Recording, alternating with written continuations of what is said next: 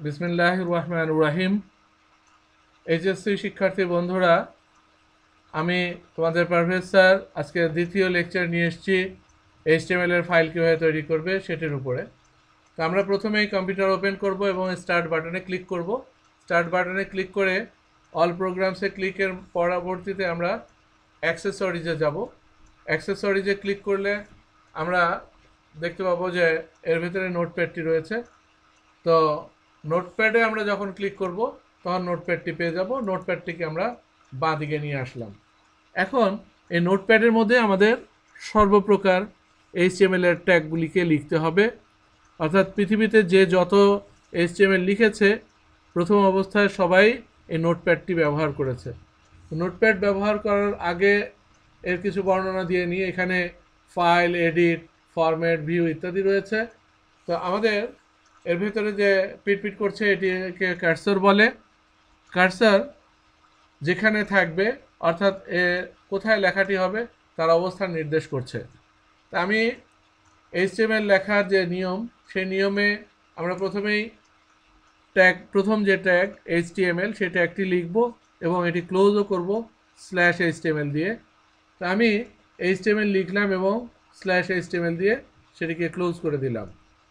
এরপরে যে ট্যাগটি লিখতে হবে, সেটি হলো হেড অর্থাৎ আমরা জানি যে হেড আমাদের হেড উপরে থাকে কাজে এইচটিএমএলের হেডও অবশ্যই উপরে থাকবে।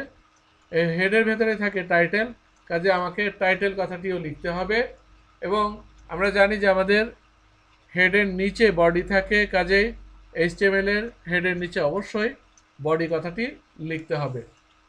এই ছিল এইচটিএমএল এর বেসিক স্ট্রাকচার এই স্ট্রাকচারের মধ্যে টাইটেলের মাঝখানে আমি যা লিখব, সেই লেখাটি মূলত টাইটেল আকারে পরবর্তীতে আমরা কোনো ব্রাউজারে দেখতে পাবো এবং বডির মাঝখানে যে সাদা অংশটি আছে, সেই সাদা অংশটির মধ্যে যা লিখব, এটা আমাদের বডি পার্টে আসবে যে কোনো ব্রাউজারে তো আমরা এখন বডির ভিতরে টাইটেল একটা টাইটেল লিখি।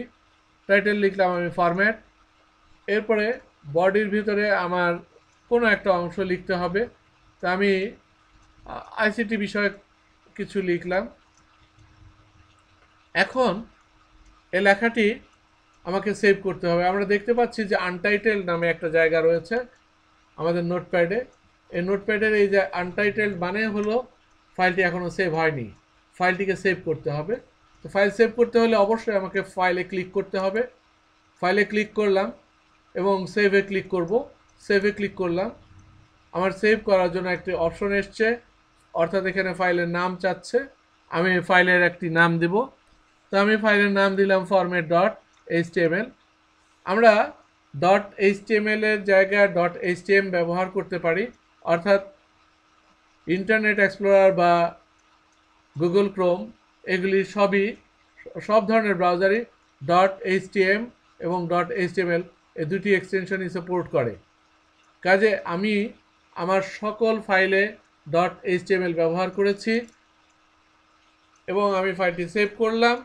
ফাইল সেভ করার পরে আমরা যে নির্দিষ্ট ফোল্ডারে সেভ করেছি, সেই ফোল্ডারটি ক্লিক করলাম। অবশ্যই এখানে দেখতে পাচ্ছি যে ফরম্যাট ডট এইচটিএমএল নামে ফাইলটি সেভ হয়েছে এবং এখানে আমরা যে আইকনটি দেখছি, এটা ইন্টারনেট এক্সপ্লোরার আইকন এই আইকনটি হয়েছেই শুধুমাত্র. ডট এইচটিএমএল ফাইলের এক্সটেনশন দেওয়ার কারণে। তোমরা যদি ভুলে কোনো, কখনোই. ডট এইচটিএমএল না দাও, তবে এই লোগোটি দেখতে পাবে না। ডট এইচটিএমএল দিলেও সেম লোগো দেখতে পাবে। এখন আমি এটার মধ্যে ডাবল ক্লিক করলাম। দেখো ইন্টারনেট এক্সপ্লোরারে আমার এই ফাইলটি এসছে। এখানে এই যে টাইটেল ফরম্যাট দিয়েছি সেই টাইটেলটি এখানে শো করছে ফরম্যাট এটি ছিল বন্ধুরা আজকের আমাদের লেসন এবং আমাদের এই বডিতে যা লেখা ছিল, হুবহু সেই লেখাটি এখানে এসছে।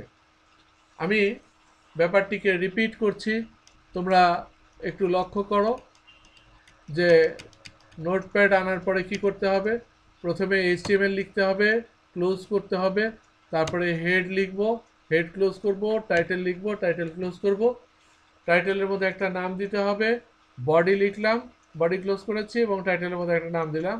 বডির ভেতরে কোনো একটা কিছু লিখতে হবে, পরবর্তীতে ফাইলটিকে সেভ করতে হবে। ফাইলটি সেভ করার জন্য আমরা ফাইলে ক্লিক করব। ফাইলে ক্লিক করে আমরা সেভে ক্লিক করব এবং একটি নাম চাপে আমি নামটা দিলাম ফরম্যাট ডট এইচটিএমএল এবং আমরা জানি যে ডট এইচটিএমএল এবং এইচটিএম দুটি যেহেতু সাপোর্ট করে, আমি এইচটিএমএল দিলাম ফাইলটি সেভ করলাম এবং এই সেভকৃত ফাইলটি ফোল্ডার ওপেন করে ফোল্ডারের মধ্যে ডাবল ক্লিক করলাম ফাইলটিতে ডাবল ক্লিক করাতে আমার ফাইলটি ইন্টারনেট এক্সপ্লোরের মাধ্যমে ওপেন হলো। এই ছিল বন্ধুরা আজকে আমাদের লেসন এই লেসনে আমরা যতটুকু যা শিখেছি, আশা করি তোমরা কিছুটা হলেও উপকৃত হয়েছ।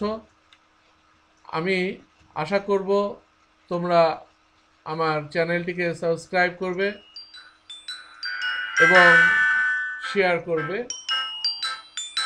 যদি প্রয়োজন মনে করো, কোনো না কোনো কমেন্টস লিখো। আমি খুশি হব। তোমাদের জন্য দোয়া রইল। তোমরাও আমাকে, আমার জন্য দোয়া করবে। আসসালামু আলাইকুম।